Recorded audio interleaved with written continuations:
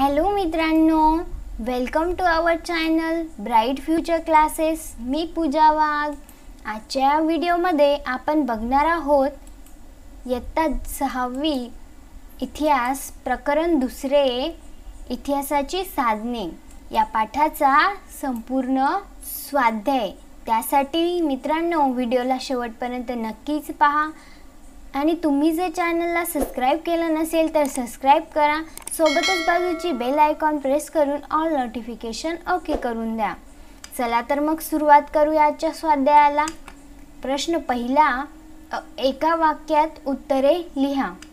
त्यातील पहिला प्रश्न आहे लिहिण्यासाठी कोणत्या साहित्यांचा उपयोग केला जाईल? उत्तर लिहिण्यासाठी खापरे कच्च्या विटा झाडांची साल भूजपत्रे ताडपत्रे तांब्याचा धातूचा पत्रा शिळा इत्यादी साहित्यांचा उपयोग केला जाईल. दुसरा प्रश्न आहे वेदवाड्यमयातून कोणती माहिती मिळते? उत्तर वेदवाड्यमयातून इसवी सन पूर्व पंधराशेपासूनच्या प्राचीन भारतीय इतिहासविषयीची माहिती मिळते. तिसरा प्रश्न आहे मौखिक परंपरेने कोणते साहित्य जतन करून ठेवले आहे?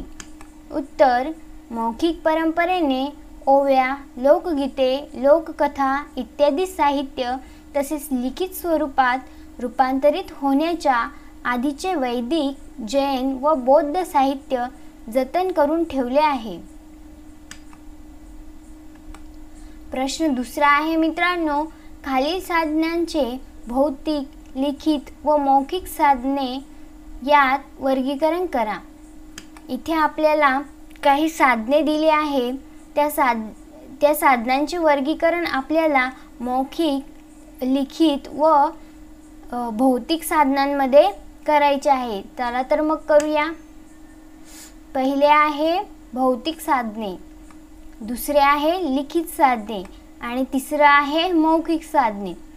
भौतिक साधनांमध्ये मातीची भांडी मणी स्तूप नाणी इत्यादी साधने येतात. तर लिखित साधनांमध्ये ताम्रपट व प्रवास वर्णने शिलालेख पुराण ग्रंथ पोवाडा वैदिक साहित्य ही साधने येतात. आणि मौखिक साधनांमध्ये लोककथा ओव्या भजन इत्यादी साधने येतात. तिसरा प्रश्न आहे मित्रांनो पाठातील मातीची भांडी पहा व त्याची प्रतिकृती तयार करा. पाठामध्ये तुम्हाला मातीची भांडे दिले आहे त्यावरून तुम्हाला तुमच्या वहीमध्ये त्याची प्रतिकृती काढायची आहे. जसे की मी इथे काढली तुम्ही तुमच्या प्र पद्धतीने मातीच्या भांड्याची प्रतिकृती काढून हा प्रश्न सोडवू शकता. प्रश्न चौथा आहे मित्रांनो कोणत्याही ज्ञानाचे निरीक्षण करा व त्यावरून खालील बाबींची नोंद करा. इथे आपल्याला यांनी काही बाबी दिल्या असणारे त्यावरून आपल्याला कोणतंही एखादं नाणं घ्यायचं आहे आणि त्यावरून या प्रश्नाला सोडवायचं आहे नाणी म्हणजे एक रुपयाचं नाणं दोन रुपयाचं नाणं तीन रुपयाचं पाच रुपयाचं नाणं असं कोणतंही घेऊन खालील बाबी पूर्ण करायच्या आहे तर मी इथे या बाबी पूर्ण करण्यासाठी दोन रुपयाचं नाणं घेतले. त्यावरून आपण या बाबी पूर्ण करणार आहोत. पहिलं आहे नाण्यावरील मजकूर.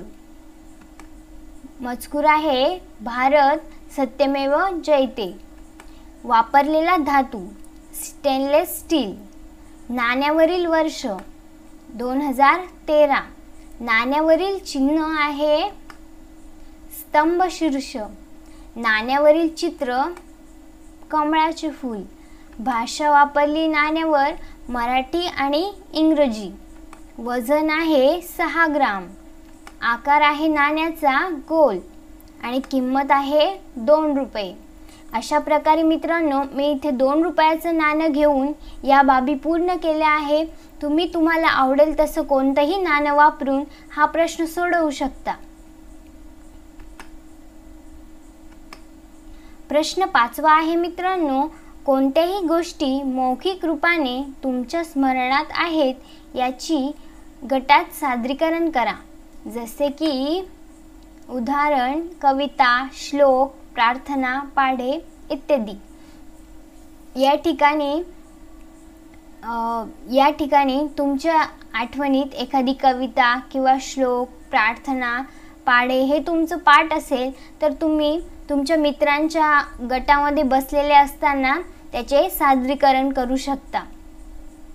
तर मित्रांनो अशा प्रकारे हा स्वाध्याय आपल्या इथे पूर्ण झाला आहे. परत भेटूया पुढच्या व्हिडिओमध्ये. पुढच्या स्वाध्यायासोबत हा व्हिडिओ तुम्हाला कसा वाटला हे आम्हाला कमेंट बॉक्समध्ये नक्कीच सांगा. तुम्हाला व्हिडिओ आवडला असेल तर व्हिडिओला लाईक करा आणि जास्तीत जास्त विद्यार्थी मित्रांपर्यंत शेअर करा. Thank you for watching this video